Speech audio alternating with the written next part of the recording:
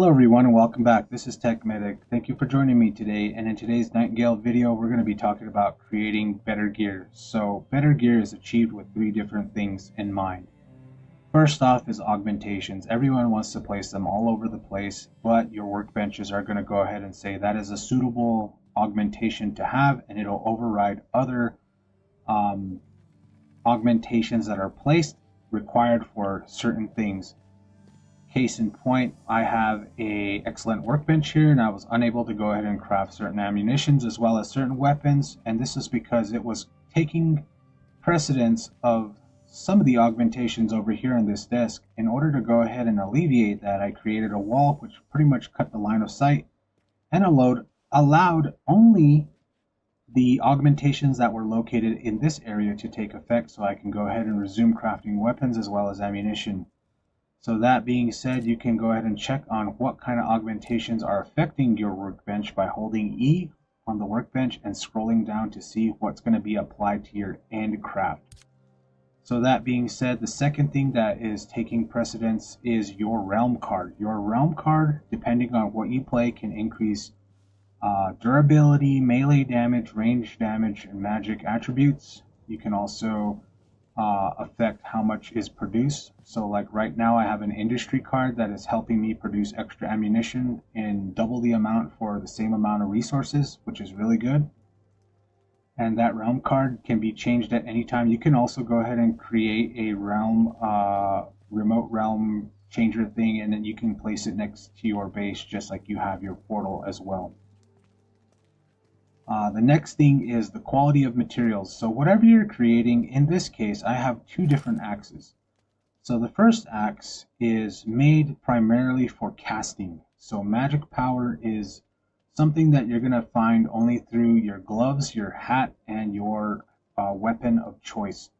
So keeping in mind that this is made entirely out of gold, which gold increases by a significant amount of magic. Um, it's actually applied on here as well as some of the infusions that you can go ahead and utilize to go ahead and increase the magic potential behind it as well as pushing the item level at the same time.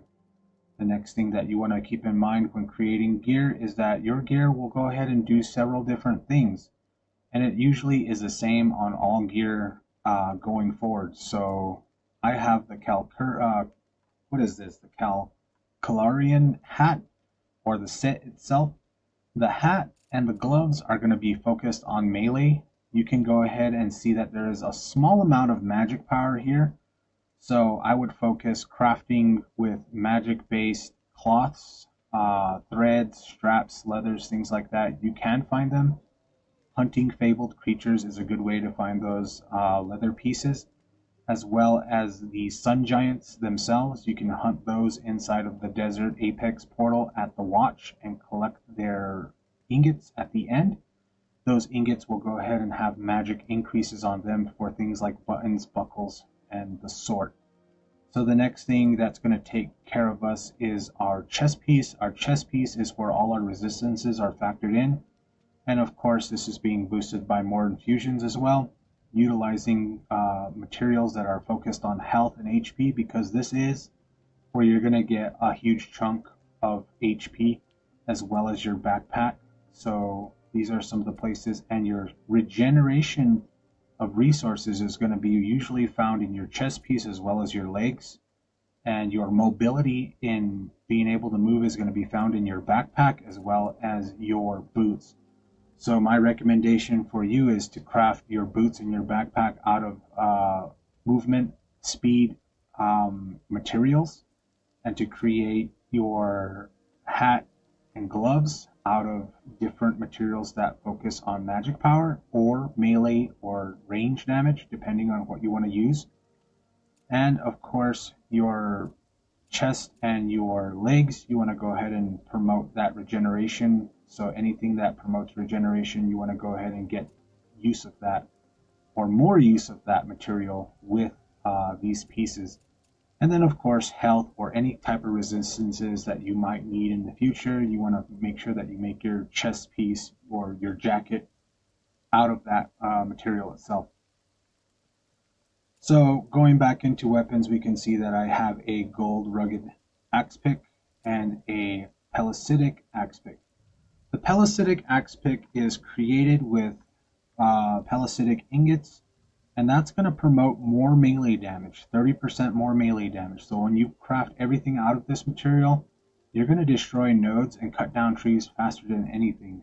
The same thing is said about the sickle when you're going to go ahead and hit those item levels and this is the way that you increase uh, your item levels to get to be able to gather the 230 resources I made a video on that and uh, by in using infusions as well as enchantments on gear itself, it's going to go ahead and bump up your item level significantly. So when you're crafting certain materials, make sure that you go ahead and collect these different things within the realms themselves, of course. But those apex portals are pretty good at, you know, giving you things like Lacunas ingots, and uh, very very rarely will you get something like a bombardier ingot. This one's very good.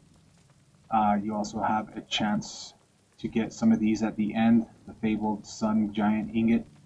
And these are really good for uh, magic power for creating those buttons and buckles and things like that and then of course you've got things like cobalt which increase your resistances but we want to focus on, I think I have some advanced,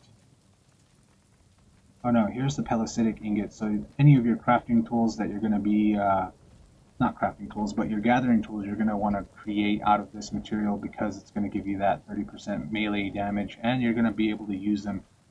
So when you're creating a melee weapon, you can go ahead and utilize a rugged axe as my NPC over here has, but the axe pick is going to be pretty good because it's going to do a number of things. It's going to be your main casting tool uh, when it's made out of entirely gold. It's going to be able to do some moderate amount of damage. You're going to be able to heal yourself. You're also going to be able to collect the resources of wood and, and ore, stone, things like that. And you're going to be able to uh, keep yourself alive longer. You know, it's very simple to make. Once you go ahead and find the trader within the guidebook itself, you can go ahead and go to guidebook and go all the way back down here to traders and I believe it's in one of the uh, astrolabe ascended realms that you can find this pickaxe and I think it's the desert. Let me check real quick just to kind of show you guys what's going on here. So ascended astrolabe desert open tools there it is you can go ahead and get this. You get this uh, Ascended Astrolabe card when you go ahead and craft your first uh, Ascended Antiquarian card. So we go in here, and you can go to Realm Cards, and there's your Astrolabe Ascended card. So once you get that, you want to get these 230 tools so that you can start crafting better things. You're going to start getting tier 4 and tier 5 materials which you can utilize to go ahead and craft your gear and push your item level levels far beyond this. So just keep that in mind. Um, one, augmentations. Two is the card that you play in your realm. And three is the level of materials and materials that you utilize in order to go ahead. Everything has either a max HP, stamina, magic, melee, range damage, or movement speed or stealth. Right now, stealth doesn't really work in the game. If you shoot one bullet, even with the the refined sling bow, you're still gonna catch the attention of the other enemies. So it's pretty much, you know, stealth isn't really that important. But that's been my video for how to craft better gear. And if you want to go ahead and find out how to open a lot of these excellent workbenches, I'll be posting more videos on the components that may confuse people. So Thank you very much for watching. Have a good night, and we'll see you all in the next one. Bye bye.